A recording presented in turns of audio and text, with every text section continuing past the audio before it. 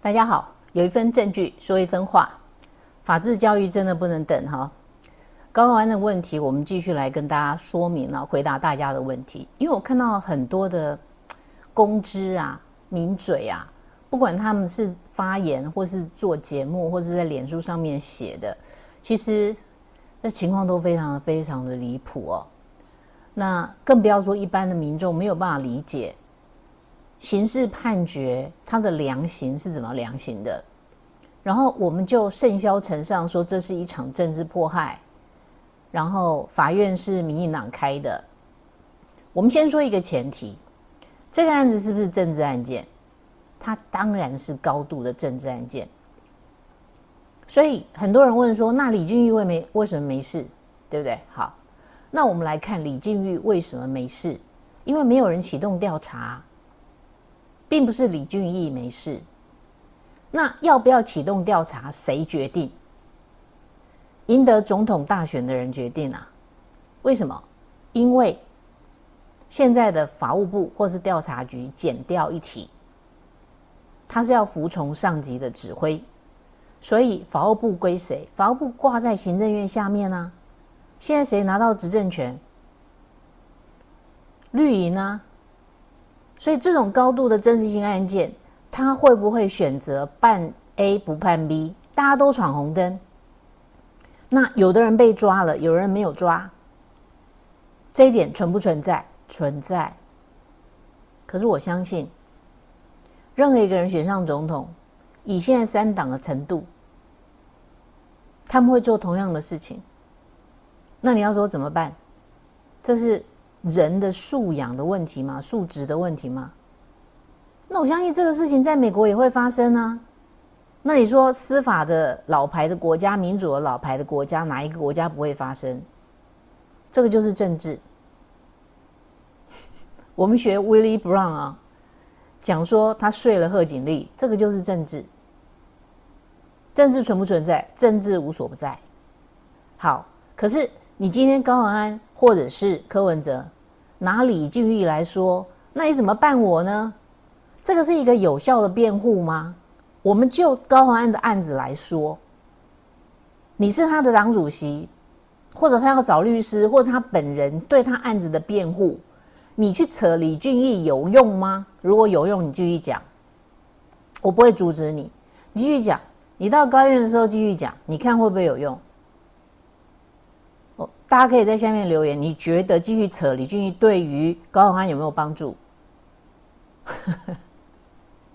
我不用去做判断，你自己都可以做判断。你被警察抓到闯红灯了，你说：“哎哎哎，都加一逮，好啊，他们都闯红灯，哎，我们现在你正在抓我，又又一台闯过去了，你怎么不去抓他呢？”你觉得这种抗辩有用吗？警察罚单照开啊，继续开啊。理解吗？所以对你自己的问题，你需要做的抗辩是什么？我为什么闯红灯？因为我车上载我老婆啊，她已经要生小孩了，我现在急着要到医院去啊。这是不是可以主确违法？有机会哦。可你没有啊，你的主确违法的事由是什么？然后接着又开始辩说：“哎呀。”我这个钱都用在公益啊！人家法官早就在这个判决里面，高宏案的判决，法官已经写了。你这个抗辩我听到了，但是没有用，因为如果这个有用的话，主却违法哦。就是说，因为你把钱放在公家的用途上面，所以呢，就可以主去违法，就不算犯罪了。那这样子，公务人员。跟民意代表，他会优于一般的民众，为什么？因为一般的民众没有可以公务的支出啊，因为他没有公务的支出，所以他凡是犯抢劫、强盗、偷窃，他都没有主确违法之事由。可是立法委员就可以有主确违法之事由啊！哎，我抢劫、强盗、偷窃来的钱。跟贪污来的钱有什么两样？用诈术或是强暴胁迫的方式拿到的钱嘛，或者是诈欺嘛？那因为你用在公益，可以所以可以阻却违法。那你就跟一般民众的论量刑论罪，通通都不一样啦，不可能存在嘛？需要再讲一遍吗？法官的判决书去看过了没有？没有看过的话，不要跟着别人闻鸡起舞，好不好？就是做不到，不因为。你后面把钱花到哪里去？因为你前面有没有构成要件？犯罪的事实已经构成了什么呢？就是你跟助理约定的薪水，你福报了，真正的薪水在这里，你福报了。然后你们两个合意合谋去骗立法院，说啊，我的薪水是在这里，不是在这里。然后把这个中间的差距呢，等到到手之后。你用到哪里去？谁管你啊？你已经完成一件什么事情？用诈术去骗立法院，为财物之教父，这个就是贪污治罪条例，他所踩到的这个条文第五条第一项第二款的构成要件已经满足了。你说我没有贪污之犯意啊？不是你后面把钱用到哪里去叫没有贪污之犯意啊？你前面用诈术去把钱拿到，两个人合谋去把钱拿到，然后缴回来，这个就已经完成了。这个就是你的贪赌啊！这个条文把它念一遍好不好？利用职务上之机会榨取财物啊！利用职务上之机会榨取财物，这是贪污罪的条例第五条第一项第二款。你如果连这种基本的法事都没有，你当立法委员，然后接着讲李俊玉，李俊玉不是没事，李俊玉是没有人启动调查，要启动调查他可以啊，你也可以去告发啊，但检察官不见得会执行啊，这确实确实是一个司法上的问题，为什么不被信赖？因为他双标，的确，但是哪一个执政的人不双标呢？现在这个是我们的司法改革最惨的地方。好，然后我看到有名嘴政治学博士，啊，说什么呢？说啊，这个在侦查期间，好，其中有一个人，好，叫做王玉文，说在侦查期间呢，检察官啊突然把麦克风关掉，录影机关掉，然后跟他讲说，我们起诉书都已经写好了啦，上级指示就是说一定要办高红安了。你们其他的同案被告几个人都承认了，你赶快承认吧，不然的话你会被判很重。然后觉得这件事情太可恶了，对，的确很可恶。但是这件事情存不存在，我相信是真的。好，那关键在哪里？关键是检察官或是警察在问案的时候。都是这么问的，比如说夫妻同案被告分开来问，对不对？他甚至还会做这种事，跟妻子讲说：“你就一个人担了吧，你先负责赚钱呐，还要养家啊，家里有老有小的，对不对？所以你坐牢就好了。”于是妻子就认罪了。然后隔壁房间呢，就跟先生讲说：“你不忍心让你太太去坐牢吧？”你认罪就好了，我们会放你太太走。结果呢，两个都认罪了。这个就是警察跟检方办案技巧。办案技巧，我不同意这样的做法。可是，当他不能行求，只能用讯问的方式，要突破心防怎么办？通常都是用这种办法。那你说这个东西是可忍孰不可忍？那为什么只对高和安的问题喊冤呢？这个也是双标，不是吗？你如果真的彻底解决这个问题，再减掉一起符合服要服从上面的指挥办案嘛？那你说不然怎么办？检察官照自己的意思来做，我爱起诉谁我就起诉谁，我爱办谁我就办谁，不接受指挥，那这整个检调系统要怎么怎么运作？也没有办法运作嘛。那中间一定有一个平衡点，对不对？所以就会有出入嘛。所以我们解决了什么问题？第一个，李俊玉的问题，对不对？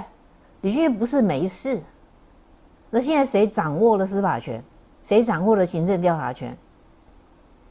他就可以决定他要办谁嘛。好，这个大家同意吧？所以扯李俊玉对于高宏安的案子有没有帮助？完全没有帮助，因为那是另外一个案子。就算李俊也去坐牢了，也没有办法让高宏安不坐牢啊。所以扯这个事情是扯爽的。好，那接下来有人问说，为什么这么多被告里面有一个人被判无罪？那个人是谁呢？那个人是同案被告里面的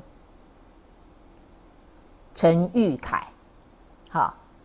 因为检察官起诉的时候有两大部分，有一个部分是说什么呢？是说他们连加班费都是假的，然后有一部分是说他们的薪资是假的。那凡是薪资是假的，通通都被判有罪了。但是有的被缓刑，这个我们后面讲。可是陈玉凯呢？陈玉凯他是被起诉加班费那个部分，他的薪资有没有福报虚报？没有。他是法务助理，好，所以陈玉凯为什么到最后判无罪？因为同案的所有的被告，关于加班费那个部分，全部判无罪啊。所以不是陈玉凯被判无罪，是全部的人在那个事情上面全部被判无罪啦。因为陈玉凯没有薪资福报的问题啊，所以薪资福报的部分全部处理了嘛，因为。这个也没有大水库不大水库的问题啊，哪有什么大水库？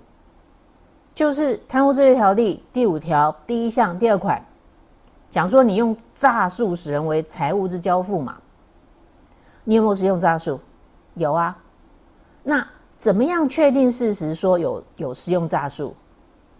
要知道啊，如果说今天办案不公的话，那请问同样是贪污治罪条例。郑文灿被收押了，可是高鸿安从头到尾，检方没有申请羁押他，他在外面爬爬照，啊，继续当他的市长，然后呢，他可以跟这些被告串证哎，结果这些同案被告有没有人挺他？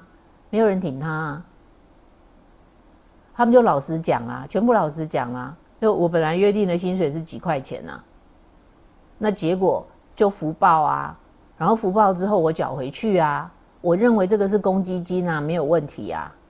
那因不因为你误会法条，你不知道法律是什么，所以无罪呢？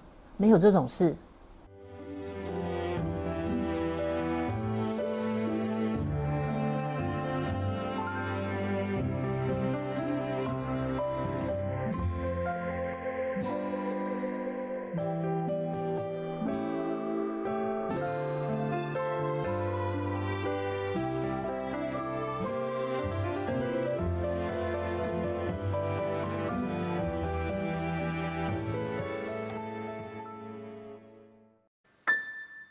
传说，在西藏的云端，孕育着生命之源。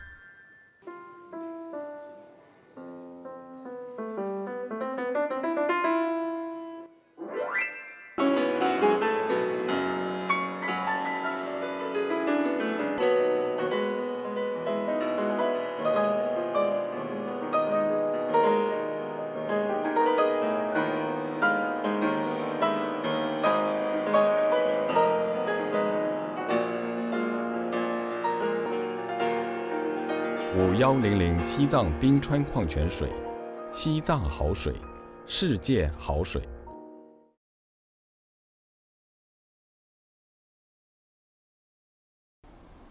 我们在其他的集数里面有讲过，有人可能认为杀人不是犯罪啊？你说我不知道杀人是犯罪，所以我把人杀了，有没有责任？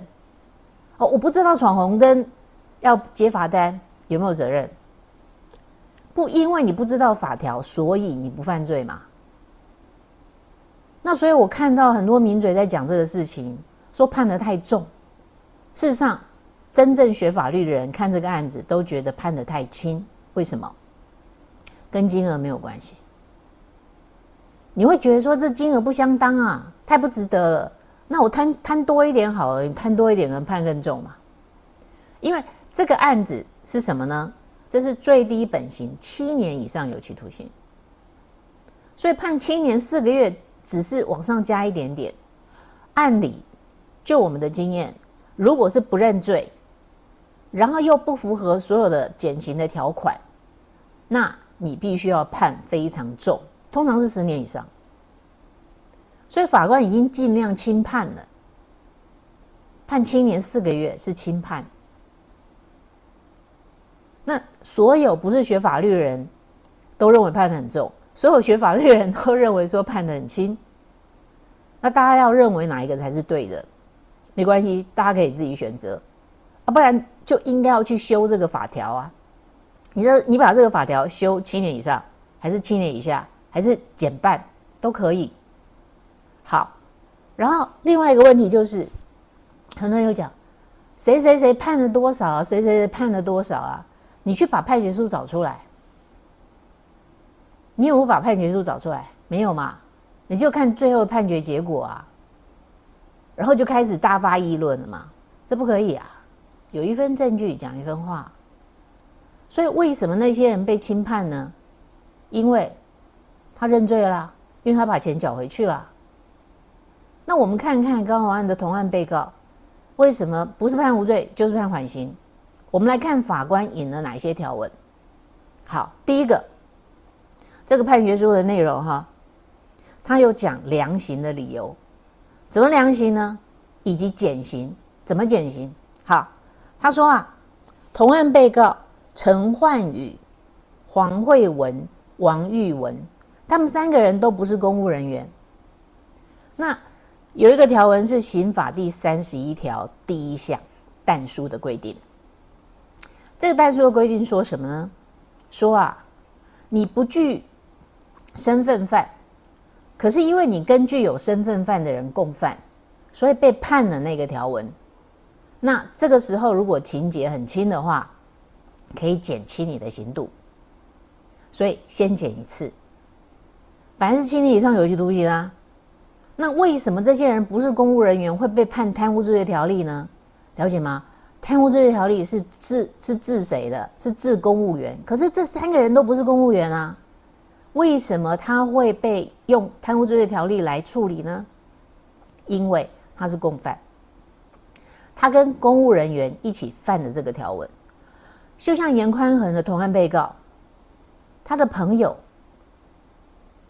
被他当人头，合谋去诈领助理费，所以这个诈领助理费的同案被告一样被判刑啊，一样判七年以上啊，因为他不符合任何减刑的这个要件，那到到了高院之后，赶快认罪吧，是不是？你就猜测说会没事啊？判七年以上哎。而且你从头到尾没有得到什么好处，你只是被当人头，哎，有没有比这一些高文安的助理还要冤？好，那条文就这么规定啊，所以法官检了他们一次，说你虽然不是公务人员，可是因为你跟公务人员一起共犯，所以你用了贪污这些条例，于是呢，我给你减刑，因为情节算轻啊，金额不大，所以这些人被减了一次。那高安为什么没有用这种方法来减呢？因因为他不是身份犯的共犯，他自己就是身份犯，他自己是公务人员。OK，他不适用刑法第三十一条之一来给他减刑。好，但书好，第二次再法官再帮这些人减一次，他说怎么样啊？陈焕宇、王玉文所犯情节尚属轻微，然后呢？与高宏安跟黄慧文的共犯所得都在五万元以下，所以呢，我在依贪污治罪条例第十二条第一项的规定，减轻其刑，五万五万元以下，我再减你一次。好，然后第三次再减一次，对谁减呢？只对于陈焕宇跟黄慧文来减，怎么减他呢？他说啊，他。犯罪之后坦诚犯行，且犯罪情状鲜有可悯之处啊，所以呢，皆依刑法第五十九条的规定，酌减其刑。所以陈焕宇、王呃黄慧文，他被减了三次。那从头到尾不认罪的王玉文呢？王玉文啊，就算不认罪，他还帮他减了两次。一个是他不是公务人员身份犯的问题，一个是情节轻微，帮他减了两次，即使他不认罪。那问题这三个条文都无法用在高鸿安身上。第一个他是身份犯，他就是主犯；第二个，因为他是公务人员；第二个，他没有认罪；第三个，他不是五万以下。那你怎么能够说没事呢？所以你所抗辩的东西，法官都一一处理了。你抗辩说大水库，啊，问题这不是大水库不大水库的问题啊，你犯的是诈术啊，诈术取得财物嘛，在前面已经完成了，你只要把钱骗出来就已经完成了。那你至于说你之后把钱用到哪里去，也许在量刑的时候可以被量刑，可以被斟酌。你不是拿来私用，可以被斟酌。可是，它不是要判定你有没有犯罪，判定犯罪只讲构成要件，量刑的时候才看其情可悯。所以，也没有余文要出来帮你扛啊。所以，到底要怎么判呢？那这是不是一个高度的政治案件？当然是嘛。所以，你要走政治这条路。你又不是执政党，你当然要加倍的自身清廉嘛。你己身不正，如何从政？你己身不正，被抓到了，你就开始满地打滚，说：“哎呀，谁怎么样，谁怎么样？你为什么不去办呢？大家每一个立法院每一个人都犯罪，你为什么不抓呢？”这种抗辩有用吗？这种抗辩是。立法的问题吧，是民众党应该要去说：哎，我们来修贪污罪的条例，我们要怎么做？我们要怎么样用 AI 来判刑？好了，法官没有量刑的空间，以后这些事情都用 AI 来处理，最公平嘛？蒙着眼睛呢，他不认得你啊！你看看，如果用 AI 来判的话，平均下去，不认罪、没有减刑的机会，高安会被判多少年？要不要试试看用 AI 来 run 一次？所以现在大家有情绪，可是有情绪也不能这样污蔑法官。我对于减掉会不会去迫害、用政治迫害一般的人民，我同意，绝对有。我也是被迫害的对象，可是我不会这样子去看高宏安这个案子，因为这样子看这个案子对高宏安本人也没有任何的帮助。如果高宏安，就他现在情绪上面所抗争的抗辩的这种方法，继续打高人法院的这场官司的话，他坐牢坐定了。以柯文哲这个说法，他除了可以煽动群众，然后让大家更不相信司法之外，对这个国家社会有任何的进步吗？有任何的帮助吗？完全没有。所以就是这件事情，我觉得你看到了什么样的问题，就应该要站出来说话。我不怕被攻击，我也不怕被抹黑。你不管抹成什么颜色，我通通都不在乎。有一份证据说一分话，真的，我们不止一般的民众的法学的常识必须要加强啊。我们的这些公知、这些名嘴、这些医生们。好好的加强你们的法律素养吧，真的不要出来尬拍给他打谁。如果要讲李俊毅的问题的话，那李俊毅没有被追查，是有人在司法上面踩刹车。可是柯文哲自己没有被司法踩刹车过吗？他甚至还绝地大反攻呢。就我们讲他在台大的二十六例的问题，台大从头到尾打官司，对不对？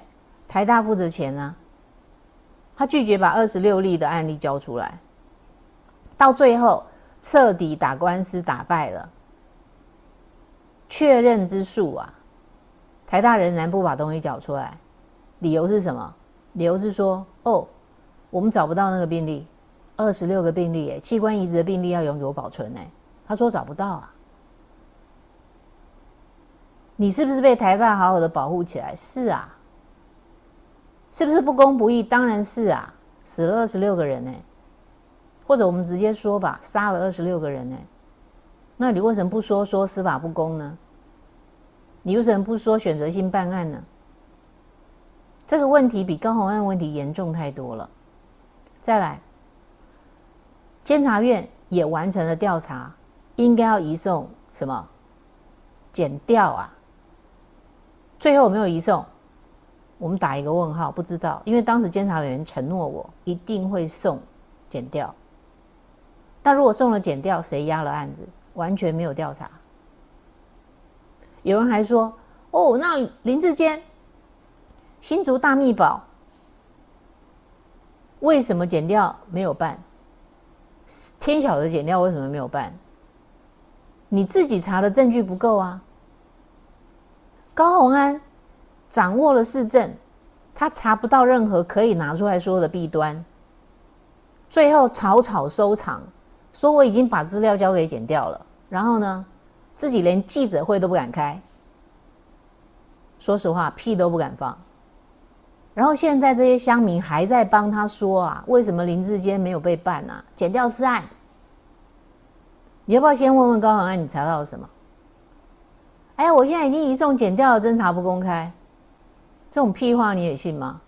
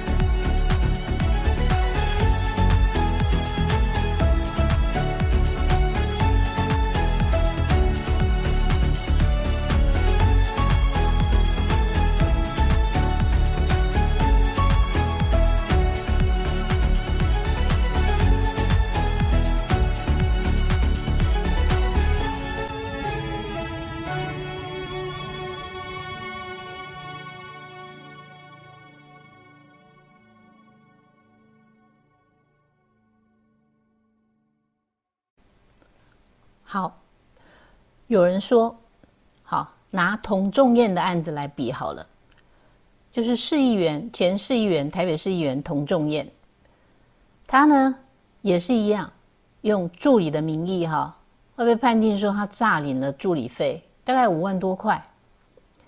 那一样的，我们来看适用法条，童仲彦他是公务人员，对不对？然后他是。五万块以上，因为五万多嘛，所以五万块以上。因此，我们刚才说的几个减刑的这个要件，它符不符合？不符合。它的情形，高案情形跟同众院的情形一模一样，一模一样。然后地院同仲院在地院的时候判多少？大家知道吗？同仲院在地院的时候判七年六个月。是不是跟高永安差不多？那都死不认错，对不对？不肯认罪嘛。后来童仲彦到高院上诉到高院的时候，童仲彦没有认罪。现在很多人胡说八道哈，说童仲彦没有认罪。童仲彦在高院认罪了。他怎么认？他只是说，我的钱又不是拿来贪污，我没有贪进我的口袋啊，那都是一些公务的支出啊，也是同样的，跟高安一模一样的看面的方法有没有？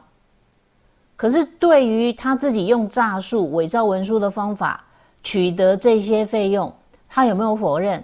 没有否认，他在高院的时候认罪。他只有唯一的抗辩就是我没有贪钱，钱没有进我的口袋，这个叫做不是贪污。问题是贪污治罪条例的构成要件不是你设的，贪污治罪条例就是这么规定的。所以因为他在高院认罪了，所以高院用什么呢？就用五十九条啊，减刑啊，就给他减一半啊。二审变成判三年十个月啊，是不是给他减一半？可是童仲彦错过了一个什么机会？因为你是公务人员，金额在五万以上，你唯一的机会只有减一次嘛？你减一次，再怎么样七年都不可能减到两年以下。所以公务人员涉犯贪污，他唯一的机会可以缓刑，不要坐牢的机会，听好了。在递减的时候，你就必须要自白认罪。所以递减的时候减一次，对不对？到了法院再减一次，减两次，你就有机会跟王玉文一样，高红安那个案子的王玉文一样，可以两年以下，然后得到缓刑。可是童仲彦在递减没有认罪，在地院也没有认罪。他错失了机会，他现在唯一的就是到了高院认罪，然后他只剩下第五十九条刑法第五十九条可以用而已，他只能减一次，只能减一次，七年以上有期徒刑，减一次也不会就就减一半嘛，就三年多啊，法官都非常帮忙了，所以童振又后来去坐牢，大概坐了一年多，现在已经出狱了，那。我们回来看高鸿安，高安已经错失了在地检的机会，又错失了在地院的机会，他继续用这种方法去高院抗辩好了，最后一定是七年以上。如果他在高院愿意认罪，那他的下场就是跟童仲彦一模一样，应该也就是判三年多。那所以他坐牢坐定了。我现在看不出来他有什么可以减刑的机会，减刑就那几个条文罗列出来，他是他没有身份犯的这种可以减刑的机会，因为他是公务人员啊。然后他又不是五万块以下，他又不符合贪污治罪条例第十二条第一项，他只剩下刑法第五十九条啊，跟同东一模一样啊。所以究竟谁是你的律师？你今天要坐牢，你的律师可能要负责任哦。为什么？还是你没有跟律师讲实话，所以律师第一时间没有办法帮你判断。就说你在递检的时候，你在侦查的过程中，你就应该要认罪。所以今天检察官把麦克风关掉，把录影机关掉，跟王玉文说：“我们已经要起诉了，其他人都已经认罪了。”你赶快在这个时候认罪，这个一定是对王文不好吗？不是哦，因为你只有这样才能够得到三次的减刑的机会。好，所以他完全错失了。那有人就说不对啊，还有什么像秦立坊？秦立坊也是台北市议员，然后他涉及的诈领的金额还蛮高的哦。那到最后，为什么秦立坊可以直接缓刑？就是因为秦立坊啊，他被抓了之后，他在地检就已经认罪了。地检检一次，然后地院的时候继续检，对不对？他至少有两次减刑的机会，千年以上有期徒刑，减一半三年多，再减一半就两年以下了。于是直接缓刑嘛。那你要敢做敢当啊！秦立坊有高人指点啊，他的律师一流的。可是高鸿安呢？你没有跟律师讲实话吧？不然一个合格的律师都会告诉你认罪就没事了。你不是，好一路还要去选市长嘛？所以一点瑕疵都不可以有，一点瑕疵都不可以有，不是掩盖啊，一点瑕疵都不可以有，是真的没有瑕疵啊。所以我们可以断言，这个高洪安的下场，现在很多媒体、很多民众都非常喜欢高洪安嘛，他人气很高嘛，觉得他被迫害嘛。可是即使是这样子，即使法院很愿意帮他，你们今天继续。喜欢高洪安的人继续攻攻击法官好了，你看高院会怎么处理他？如果他不认罪，到了高院连一次的减刑机会都不会有，那么他得坐满七年的牢了，那至少是七七年多的一半的时间，大概要坐个三四年吧。他已经错失了在递减认罪的机会，检察官固然要抓你。要办你，可你自己要看看自己有没有犯法。真的有犯法啊，该怎么样就怎么样，讲实话就好了。你不讲实话，硬凹就觉得可以凹到最后就可以脱身吗？没有这回事，法律不是这样玩的。所以，我们今天可以断言，高宏安牢是坐定了，只是坐多少年的问题而已。童仲彦就是你最好的例子。